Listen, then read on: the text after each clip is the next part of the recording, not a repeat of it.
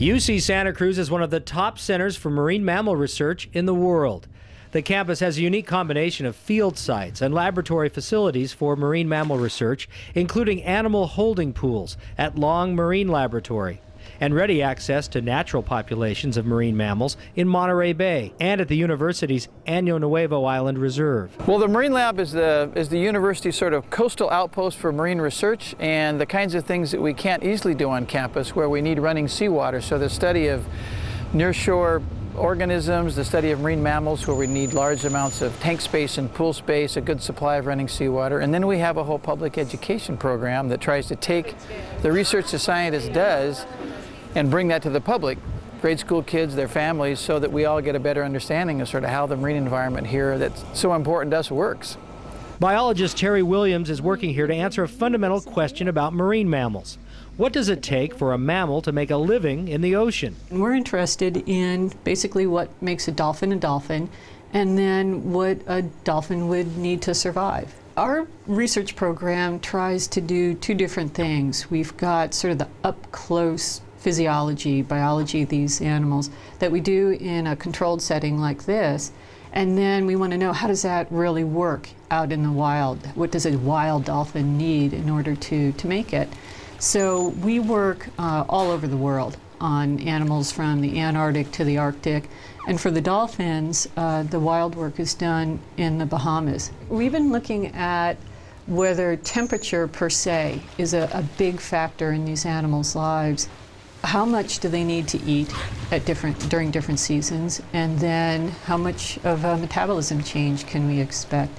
Um, and again, because of the idea of global climate change and water temperature changes that we're certainly seeing in, off our coasts.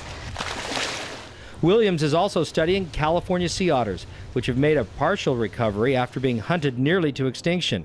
But Williams wonders if our coastal ecosystems still have everything sea otters need to survive and to thrive. There's a, a huge question about California sea otters right now. How come the population hasn't just zoomed through the roof? Something is holding the, the sea otter back. It's very hard to work with otters in, in the wild. So what we did was convert the water tower over at Long Marine Lab into a simulated ecosystem for sea otters. The whole idea is what does it take to be a sea otter? What are those energetic needs? And does the California coast really have what, what otters need in order to survive and for populations to increase? One of the things that my graduate student has found out, this is work by Laura Yeates, is that the core body temperature of sea otters just fluctuates wildly during the day. Their core body temperature is going up after they're eating, and then it just starts crashing down as, as they're resting. And it gets to a point where they have to go and eat. If they don't go and eat and sort of stoke up that metabolic fire again to increase body temperature, um, they could potentially have a core body temperature that, that gets lethal.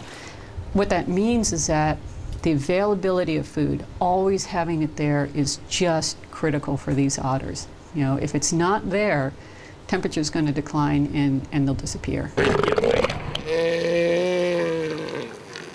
When the tail gets very small, it means the animal's not moving. Biologist Daniel Costa is using the latest in satellite tracking technologies to study the amazing annual migrations of elephant seals and other marine animals.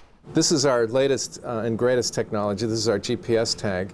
This measures where the animals are to within uh, five to 10 feet. Uh, this also gives us information on where the, what the animals are doing in terms of where they're diving, how long they're diving, how deep, and their general diving pattern. You couldn't put this on a sea otter or, a, or uh, some sea lions, so we use uh, a tag like this, which is much smaller, but it gives us much limited amount of information. It tells us just where the animal is. The tags are harmlessly attached to the fur on an animal's head or back and fall off when the animals molt in the spring. So elephant seals have been a long-term uh, animal that we've studied here. And in the last oh, 10 or 15 years, we've been able to take that research much further. Instead of just seeing what the animals do on the beach, which is pretty much what we're limited to, the, the sort of computer generation has taken over and we've been able to put radio tags first and satellite tags and time depth recorders. So now we've got an unprecedented view of what these animals are doing when they're at sea hundreds, thousands of miles away from Año Nuevo uh, Beach. Research on elephant seals and other species has enabled Costa's group to identify hotspots in the open ocean where marine mammals from elephant seals to albatrosses go to feed. We've got this program called Tagging Pacific Pelagics. We're tagging 23 different species of marine mammals, birds, sharks, fish, uh, one species of squid, whales. So one of the things we're trying to do is take this away from the point of view of just what do elephant seals do to what do marine vertebrates do and where are the important areas in the ocean where the marine vertebrates are going to feed. Uh, these tracking technologies and tracking large numbers of animals are, are certainly leading the way to, to figuring out how to, uh, how to better conserve the ocean in, in areas that we can't get to otherwise. We are in an incredible position being on the edge of the nation's largest national marine sanctuary, but not only is it incredibly productive biologically, probably the greatest diversity of marine mammals anywhere in the world, so that provides sort of the perfect environment for the scientists, whether it's the elephant seals at Año Nuevo, the sea otters, we don't have to go thousands of miles necessarily to study these animals. We've got them right here in our backyard. Reporting from Long Marine Laboratory in Santa Cruz, this is Romney Dunbar.